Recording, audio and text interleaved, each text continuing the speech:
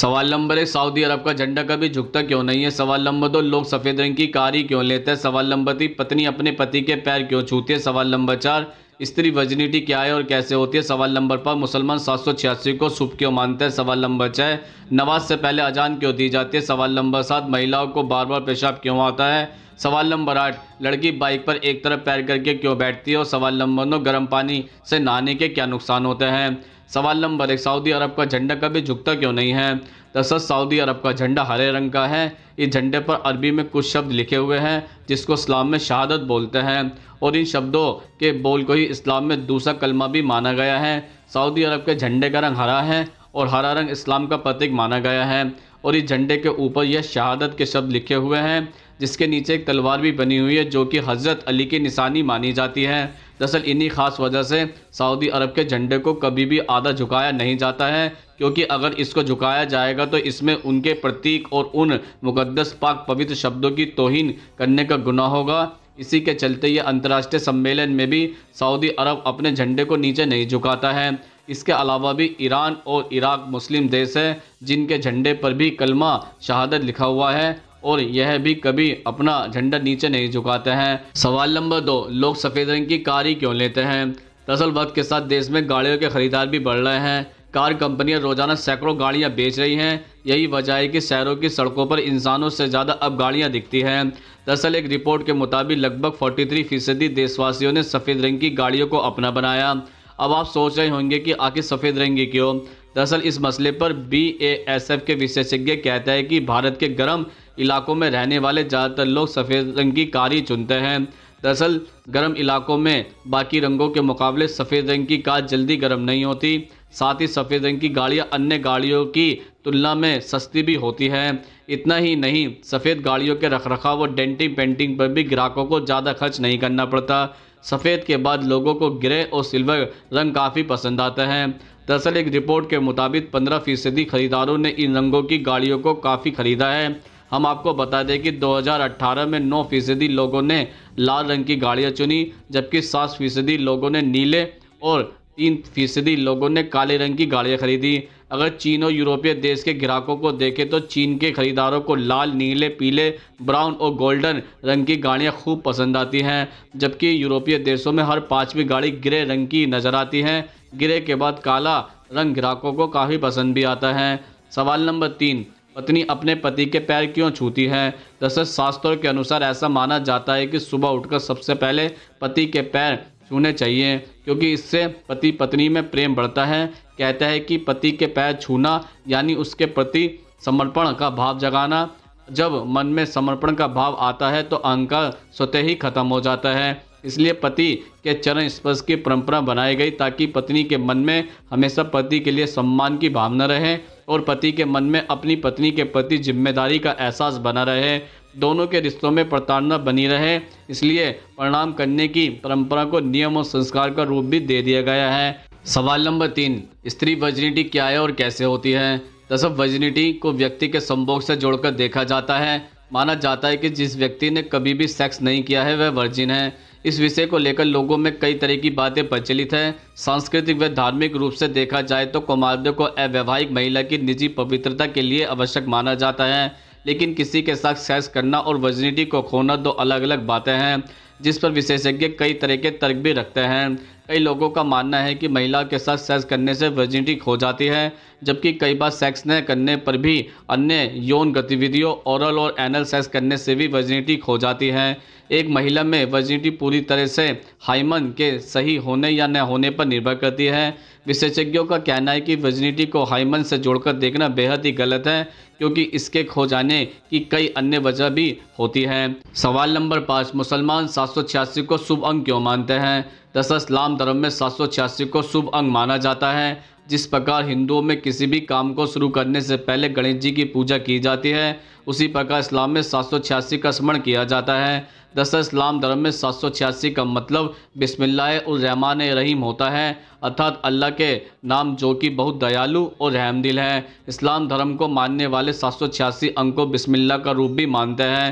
दरअसल लोगों का ऐसा विश्वास है कि सात सौ छियासी का स्मरण करने के बाद शुरू किए गए हर काम में बरकत होती है। लोग इस अंक को सीधे अल्लाह से जोड़कर देखते हैं। इस्लाम धर्म के मानने वाले लोग इस नंबर को बेहद पवित्र और अल्लाह का वरदान मानते हैं। यही कारण है कि इस्लाम धर्म को मानने वाले अपने हर कार्य में सात सौ छियासी अंक को शामिल करते हैं। उनका मानना है कि जिस काम में सात सौ छियासी अंक शामिल किया जाता है, उसके होने में अल्लाह की पूरी मर्ज़ी होती है। सवाल नंबर छः नमाज़ से पहले अजान क्यों दी जाती है?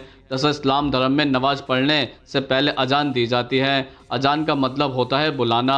दिन में पाँच बार नमाज़ पढ़ी जाती है और पाँच बारी अजान दी जाती है। अजान के ज़रिए लोगों को नमाज़ के लिए आमंत्रित किया जाता है। इसके साथ ही लोगों को इतला भी किया जाता है कि नमाज़ का वक्त हो गया है, आप सभी काम छोड़कर नमाज़ पढ़ें। नसीम गाजी द्वारा लिखित पुस्तक, अजान और नमाज़ क्या है, में बताया गया है कि अजान देने वाले शख्स को मस्जिद कहा जाता है। वह बुलंद आवाज़ से ईश्वर का वास्ता देकर लोगों को नवाज़ की न्योता देता है। सवाल नंबर सात, महिलाओं को बार बार पेशाब करने क्यों जाना पड़ता है? दरअसल महिलाओं में कई सारी ऐसी आदतें होती है जिसके कारण उन्हें गंभीर परेशानियों का सामना करना पड़ता है। ऐसी ही एक समस्या है जो ज़्यादातर महिलाओं में पाई जाती है, जैसे कि कई महिलाओं को बार बार बाथरूम जाने की आदत होती है, या ऐसा भी कह सकता है कि उन्हें बार बार बाथरूम जाना पड़ता है। ऐसे में बहुत से लोग इस समस्या को काफ़ी हल्के में लेते हैं इसकी तरफ़ ज़्यादा ध्यान नहीं देते, जिसके चलते यह समस्या आगे चलकर बड़ा रूप ले सकती है। दरअसल यह समस्या ब्लेडर के अनियंत्रित होने की वजह से होती है। अगर सीधे शब्दों में बताया जाए तो इसका मतलब यह है कि यह स्थिति ओवर एक्टिव ब्लेडर की समस्या के कारण होती है। हम आपको बता दें कि ब्लेडर्स के ओवर एक्टिव की स्थिति में कभी कभी छींकने, खांसने, हंसने और सीढ़ियाँ चढ़ने में भी यूरिन अपने आप निकल जाता है। इसके अलावा 20 से 45 वर्ष की आयु वाली महिलाओं को यह समस्या बाकी महिलाओं या लड़कियों के मुकाबले ज़्यादा होती है। सवाल नंबर आठ, लड़कियाँ बाइक पर एक तरफ़ पैर करके क्यों बैठती हैं? जैसे महिलाओं के भारतीय कपड़े इसका कारण होता है। साड़ी, लहंगा, घाघरा यदि दोनों ओर पैर करके बैठेंगी तो यह परिधान घुटनों से बहुत ऊपर तक उठ जाएगा और तब यह शालीनता नहीं लगेगी। शायद असुविधाजनक व असुरक्षित भी होगा। पहले के सलवार कमीज या कमीज पजामी के कुर्ते काफ़ी लंबे और छोटे चाक के होते थे और तब भी कुर्ता काफ़ी ऊपर चला जाएगा और मोटरसाइकिल पर लगने वाली तेज़ हवा से पेट तक भी हट सकता है। और अब तो पाश्चात्य पोशाकें पहनकर महिला स्वयं भी मोटरसाइकिल चलाती है। आपने पुलिस के कर्मचारियों को भी देखा होगा। सवाल नंबर नौ, गर्म पानी से नहाने के क्या नुकसान होते हैं? दरअसल सर्दियाँ आते ही लोग गर्म पानी से नहाना शुरू कर देते हैं।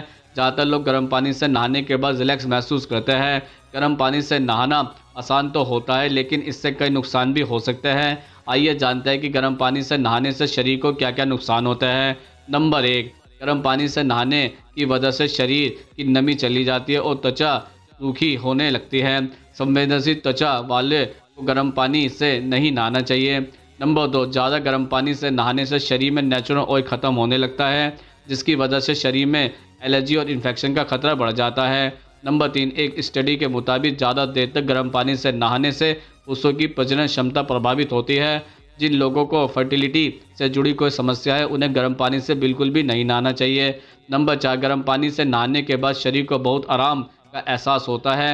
नहाने के बाद शरीर सुस्त हो जाता है। नींद आने लगती है, जबकि ठंडे पानी से नहाने से पूरा दिन फूर्ती महसूस रहती है। नंबर पाँच, चेहरे पर आती झुर्रियाँ। अगर आप नहीं चाहते कि समय से पहले आपके चेहरे पर झुर्रियाँ आ जाए तो गर्म पानी से बिल्कुल भी ना नहाएँ। गर्म पानी से बॉडी का नेचुरल ऑयल ख़त्म हो जाता है, जिसकी वजह से चेहरे पर जल्दी झुर्रियाँ आने लगती है। नंबर छः बालों के लिए हानिकारक गर्म पानी बालों को बहुत नुकसान पहुँचाता है।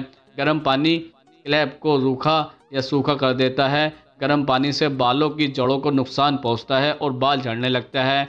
नंबर सात, डिप्रेशन का खतरा भी ज़्यादा रहता है। जैसे गर्म पानी से नहाने से बॉडी फ्रेश नहीं होती, जिससे पूरे दिन आपको थकान का एहसास हो सकता है, जिसकी वजह से कभी कभी डिप्रेशन जैसा भी महसूस हो सकता है। नंबर आठ, गर्म पानी से आँखों की नमी ख़त्म होने लगती है, जिसकी वजह से आँखों में खुजली की समस्या हो सकती है। अच्छा होगा कि गर्म पानी या ठंडे पानी की बजाय नॉर्मल पानी से ही आप नहाएँ नंबर नौ, बॉडी को हो जाती है आदत। दरअसल शरीर को एक बार गर्म पानी की आदत हो जाए तो ठंडे पानी से नहाना आपको अच्छा नहीं लगेगा। इसलिए गर्म पानी के बजाय सामान्य पानी से नहाना शुरू कर दें। तो दोस्तों, आज हमने आपके द्वारा पूछे जाने वाले प्रश्नों का उत्तर देने की पूरी कोशिश की है। अगर आप भी हमसे कोई प्रश्न पूछना चाहता है तो कमेंट्स बॉक्स में लिखकर पूछ सकते हैं। हम उसका उत्तर देने की पूरी कोशिश करेंगे। अगर ये वीडियो आपको पसंद आई हो तो उसको लाइक करें, कमेंट्स करें ज़्यादा से ज़्यादा शेयर करें और हमारे चैनल को सब्सक्राइब ज़रूर करें। नमस्कार दोस्तों।